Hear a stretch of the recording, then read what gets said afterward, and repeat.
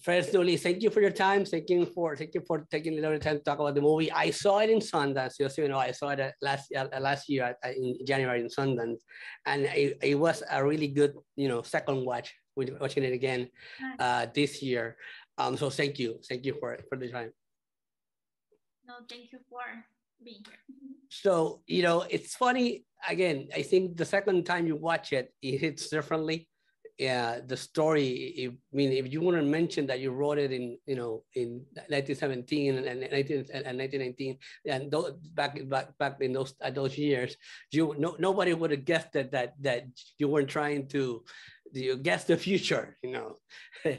um, so how did the story came about? I mean, because it's just it's, it's, it's you're tackling different subjects, you're tackling, you know, you're tackling um, relationships, you're tackling human behavior how did the story came about? What prompted you to write the story?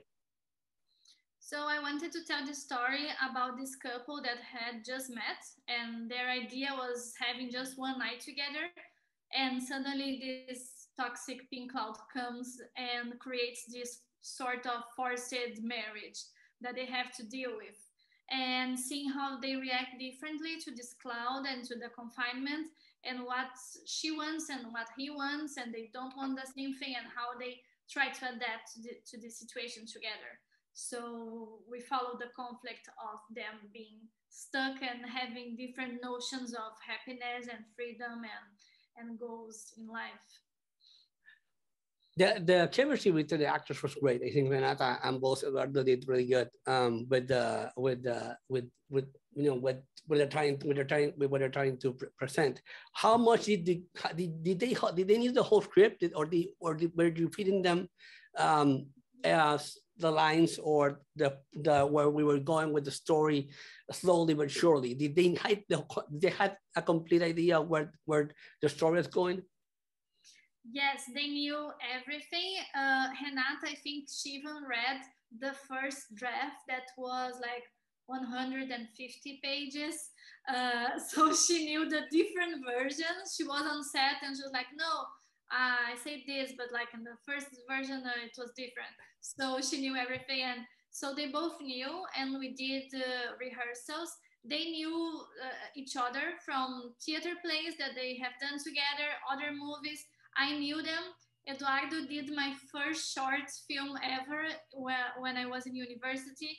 Renata did shorts with me too, and they knew each other. So it was good having this this intimacy, so we could really, you know, work together and be open and try many things. And they knew it was a a difficult uh, task that they had because the film is on them almost all of the film you just answer a bunch of uh i had you know i, I was i was asking i wanted to know if they if they are working the cast oils together and and and if if you wrote different versions of of the the story.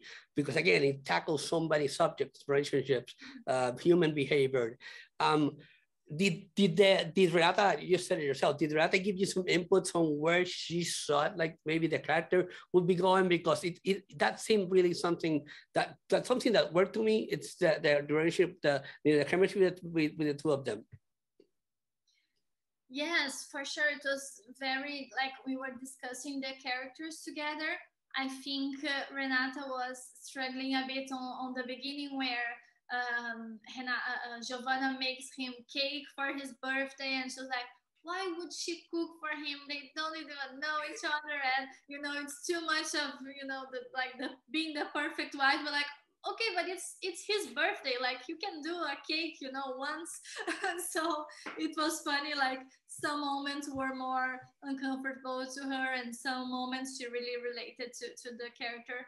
So it was very interesting. It was a an interesting journey. And one thing that was amazing for us is that I really asked my AD to shoot almost chronologically.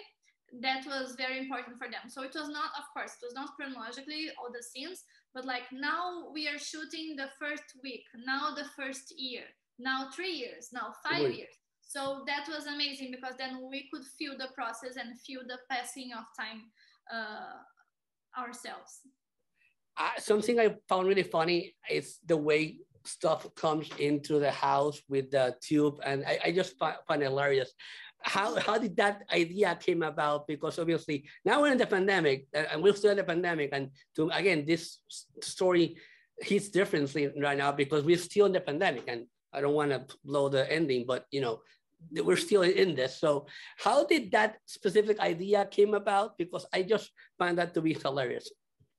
Yeah, so I wanted to focus on the characters and to focus on on them and how they react and and make it intimate. So I, I didn't want to explore the scientific aspects of it. it was not interesting for me. But I was like, okay, I just have to explain how they eat you know how they get food so i put this like bizarre thing on the window and the food comes from it and i know it's not logical like some people say that makes no sense but like like i don't care if it makes a lot of sense practically because uh and, and it was i was like joking with our our delivery systems you know because it is bizarre. Like i type pizza on the computer and 40 minutes later a pizza comes to my door. So it is kind of magical our delivery systems anyway. So it was like a, a joke with with that but it, i think it was the only thing that i felt that i could i, I had to show some way. Um, uh, before I let you go i'm running out of time. Uh, how did you convince people to understand that you wrote this two years ago four years ago? Because it's just it hits so it hits so personal. I think I mean to me again, I, when I first saw it in Sundance, I liked it because I understood where we were going because of what's happening right in 2021. But we're all 2022 right now, and we're still there. I mean, nothing has changed. And how do people? What do you expect people to? How do you expect people to process the story when they see it? Yes, it is bizarre. Like for example, now I was going to go to LA for the premiere in, in cinemas there, and now Omicron and everything is crazy. So like, okay, I'm not going, not not getting to this plane. But yes, it's like it's never ending. It's it's bizarre. I hope it ends soon. But I think yes, I think people could relate to the film in Sundance on last January, and now we are in January again, and, and we are still in this situation.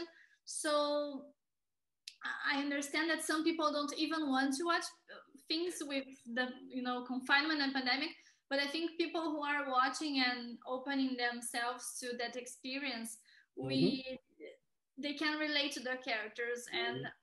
Personally i like when i can see myself on the screen some way uh, and many people have said oh it's it's uh, like online.